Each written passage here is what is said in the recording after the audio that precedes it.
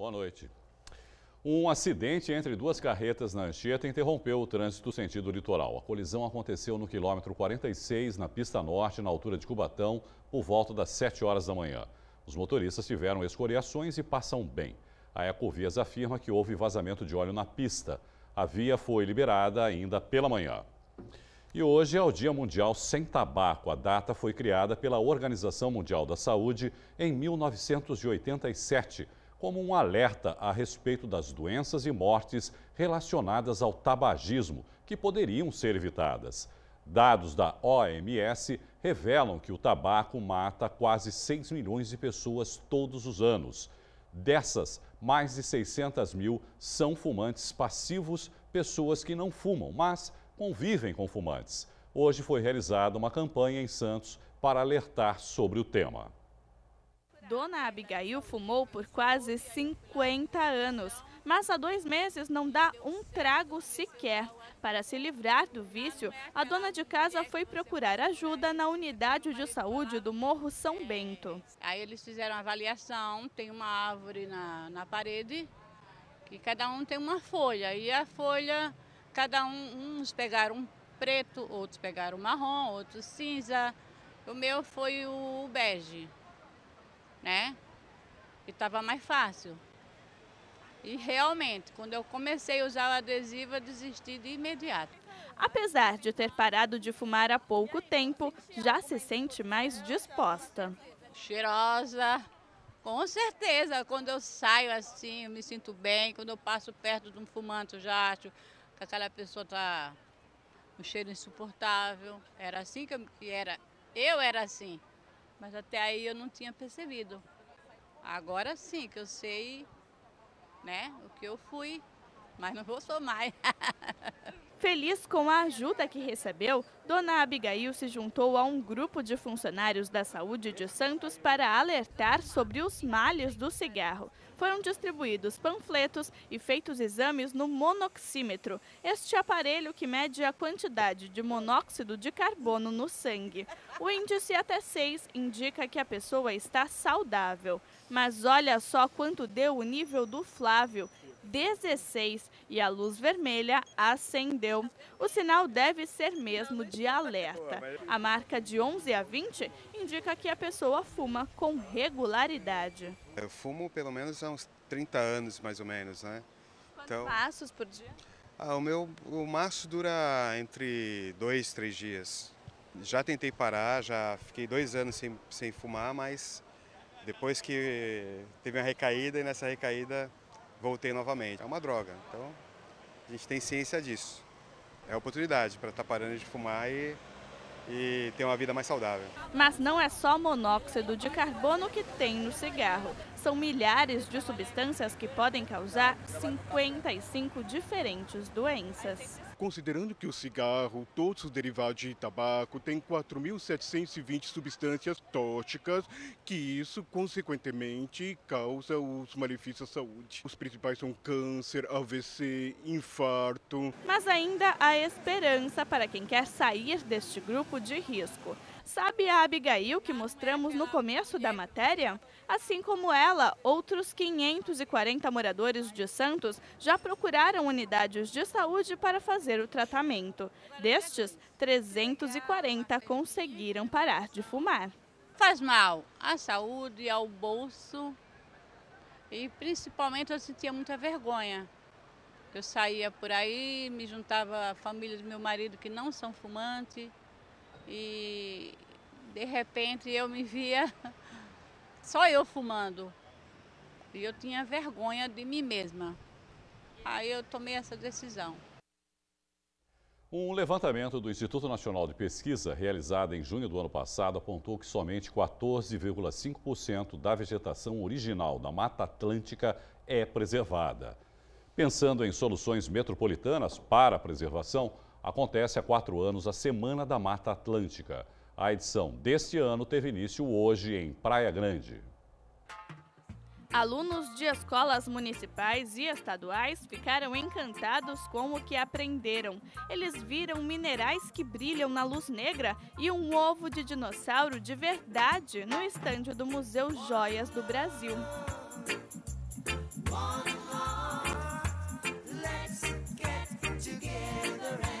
Conheceram também os equipamentos usados pela Guarda Ambiental e pelo Exército na fiscalização da Mata Atlântica. Conferiram parte do acervo do Museu Florestal Otávio Vec de São Paulo, que tem a maior coleção de madeiras do mundo.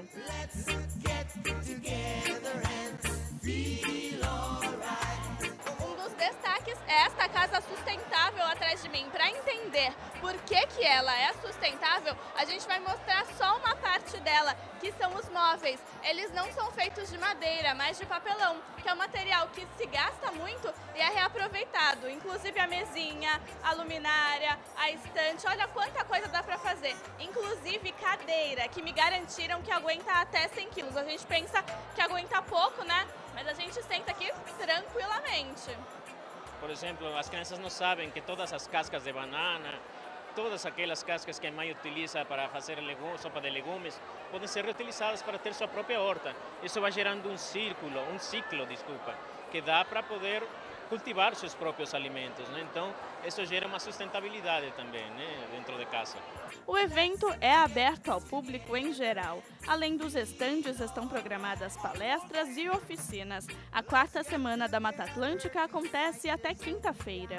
Eu gosto de, do meio ambiente, gosto de reciclar e eu amo animais, então achei uma boa ideia vir. Essa coisa tinha que acontecer mais vezes no ano, ausente, não precisa estar lá as autoridades, precisa estar realmente aquele que tem que ser conscientizado, que é o cidadão comum. Ele tem uma visão sistêmica de mundo. Eu acho que a presença em Praia Grande é importante, ano que vem em outra cidade, para provocar né, vocês da comunicação, provocar o, o pessoal da, da, da, sociedade civil organizada, provocar a, a, a, questão da educação também, quer dizer, todo o pessoal que está envolvido com o processo da formação do cidadão. O evento está sendo realizado no Palácio das Artes. O endereço é Avenida Costa e Silva, 1600, no Boqueirão. A programação completa pode ser conferida no Santa Portal. Quem espera ônibus no ponto da Avenida Francisco Glicério, em frente ao Mendes Convention, em Santos, enfrenta um problema há mais de dois meses. Não há luz e a população fica refém do medo. Olha a diferença. A primeira imagem é de um ponto de ônibus comum, bem iluminado. A segunda, um verdadeiro breu, sem nenhuma luz nas proximidades. A ajudante-geral Neuza da Silva Galindo espera ônibus aqui todos os dias às 9 horas da noite. Ela quase já foi assaltada e sente muito medo. Todo dia, todo dia, todo dia assalto, então dá muito medo. Eu mesmo eu morro de medo. Só fico porque é necessário, sou obrigada a ficar mesmo. As pessoas ficam no escuro, à mercê da violência qualquer lugar que esteja e não tenha iluminação legal é muito perigoso. Bem no ponto em frente ali também aconteceu um caso famoso aqui na região. Está muito escuro aqui, precisa o poder público tomar alguma atitude né, para melhorar isso aqui. É bem temeroso esperar o, o, o ônibus aqui. Sabemos que recentemente, tem meses, salvo engano, que foi um rapaz que foi assaltado, tentaram roubar o celular dele, ele morreu, inclusive, né? O caso que essas pessoas se lembraram foi o de Luan Oshiro. Ele morreu em outubro do ano passado, naquele ponto de ônibus ali, em frente aonde nós estamos. Luan Oshiro tinha 18 anos e esperava o ônibus com duas amigas na madrugada de uma segunda-feira. Enquanto isso, dois criminosos apareceram e o abordaram pedindo seus pertences. Não deu tempo nem dele entregar. Um deles atirou. Luan morreu na hora. O local está sem iluminação porque houve um desvio na Avenida Francisco Glicério por causa das obras do VLT, realizadas pela MTU. O trecho interditado começa na Avenida Ana Costa e vai até as proximidades do Canal 1. Por telefone, a CPFL afirmou que a responsabilidade pela iluminação é da Prefeitura. Já a Secretaria de Serviços Públicos informou que possui uma equipe de plantão noturno que percorre a cidade diariamente para fazer a troca de lâmpadas queimadas. Nesse caso específico, uma nova vistoria será realizada ainda esta semana. O trabalho de um dos principais artistas plásticos do Brasil fica em exposição na Unisanta até a próxima sexta-feira. A mostra faz parte das comemorações dos 55 anos do Complexo Educacional. São mais de 25 quadros e cerâmicas que mostram realismo pelo talento de um dos maiores pintores do país, Armando Sendin. O artista já expôs em vários lugares do mundo, como Nova York, Paris e Madrid. Essas obras foram doadas pelo pintor e fazem parte do acervo da Universidade Santa Cecília. Que nós estamos fazendo hoje é democratizando o acesso à obra de arte porque elas merecem estar em local no qual possam ser devidamente apreciadas. A exposição conta com quatro obras inéditas feitas com a técnica de guache sobre papel. É um privilégio tremendo para a Unisanta poder mostrar quatro trabalhos inéditos dele nessas alturas do campeonato. O Sendin está com 89 anos, então imagina um privilégio muito grande, né? Eu creio que nem na exposição da Pinacoteca teve trabalhos inéditos. Nós tivemos esse privilégio. A exposição fica até 3 de junho no Espaço Cultural Unisanta. O endereço é Rua Oswaldo Cruz, número 277, no Bloco M. As visitas podem ser feitas das 7 até as 9 e meia da noite. A entrada é de graça. A arte, no sentido geral, ela é importante porque ela faz com que o ser humano se coloque em uma outra situação. Sendin, especialmente, consegue fazer isso, desde os hiperrealismos que ele trabalha, ou seja, uma situação em que você olha, que você conhece uma realidade, até nos trabalhos mais abstratos. E aqui a gente pode ver toda essa série de trabalhos, essa variação e perceber, é, ter essa experiência estética forte que ele consegue dar para o público.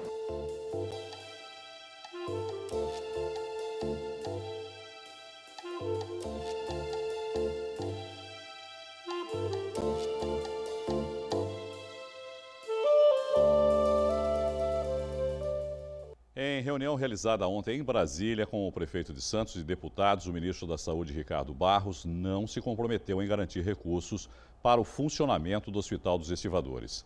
O governo federal ficaria responsável por metade dos 10 milhões de reais mensais que a unidade necessita para ativar 100% da sua capacidade. Os ministros anteriores, Marcelo Castro e Arthur Quioro, haviam prometido o repasse da União.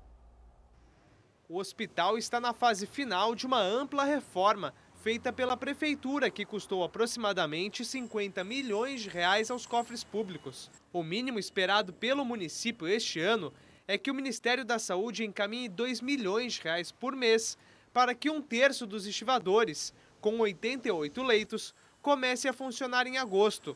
A unidade será terceirizada e administrada por uma organização social.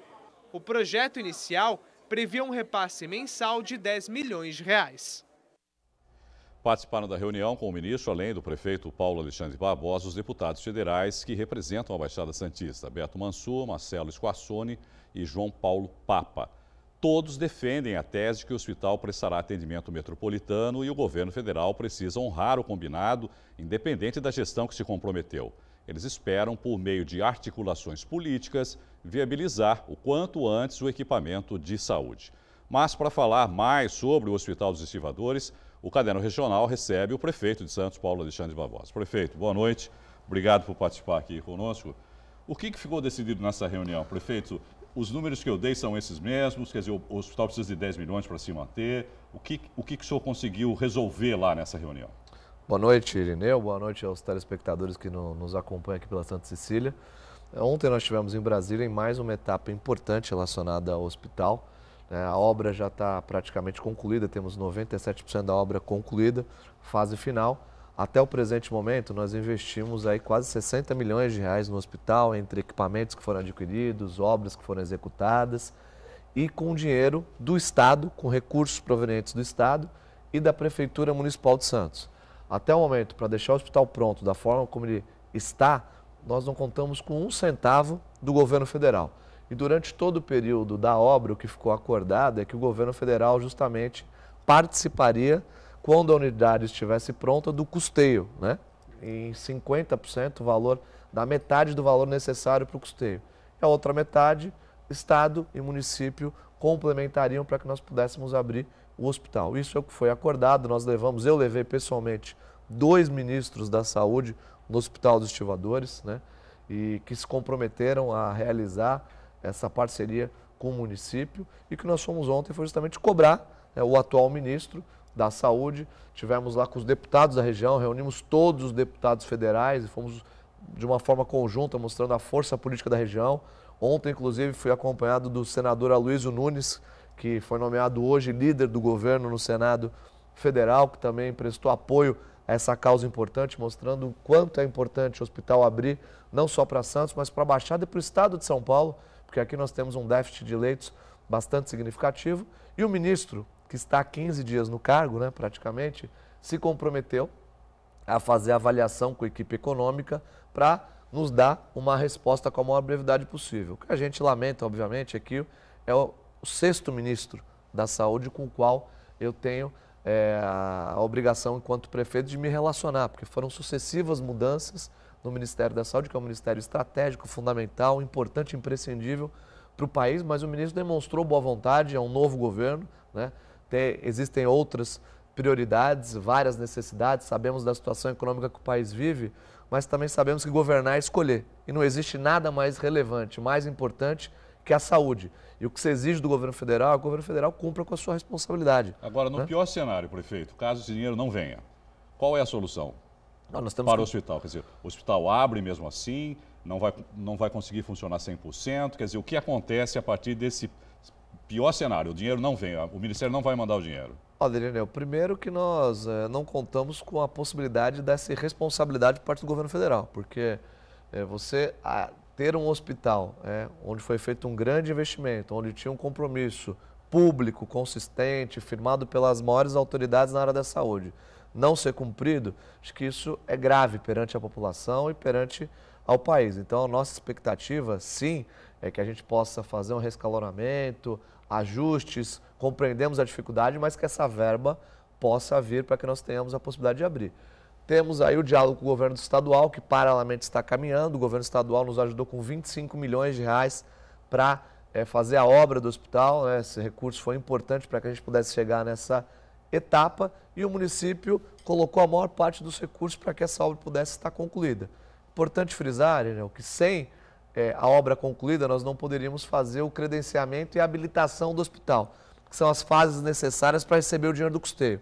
Então, nesse projeto, que é muito amplo, é o maior hospital regional público aqui da região, é, existem etapas. Nós cumprimos uma série de etapas e uma etapa importante agora que é a conclusão da obra. Obviamente que existem alternativas, mas nós... Qual nós... o prazo, prefeito? O senhor disse que está 97% pronta a obra. No, no, mês de junho agora, a obra fica 100% concluída até o final Agora, desse nesse mês. cenário, concluindo a prova, a, a, a, obra, e o dinheiro, aí ficamos nessa dependência aí que o senhor acha que é uma responsabilidade, eu também acho que deve vir.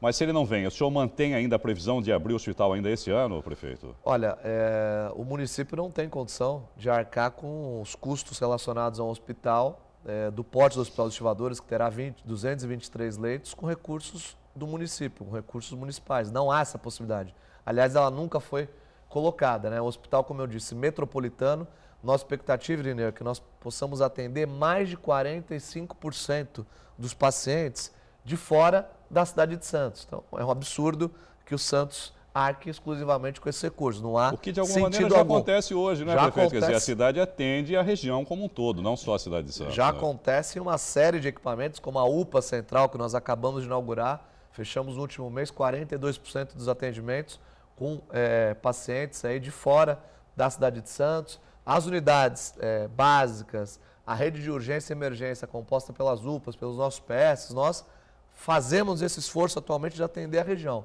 Mas um hospital que tem um custo é, muito mais significativo, não há possibilidade. Então nós dependemos sim do dinheiro da União e do Estado para que nós possamos abrir as portas do hospital. E nós vamos é, continuar essa luta para sensibilizar as autoridades em nível federal e também em nível estadual da importância de abrir esse equipamento para toda a Baixada Santista. Qual é a projeção do número de atendimentos, é, prefeito? Olha, nós teremos 223 leitos no Hospital dos Estivadores, teremos a maternidade, leitos de UTI, é, UTI neonatal, UTI para as nossas crianças, para os bebês, é, leitos clínicos, enfim.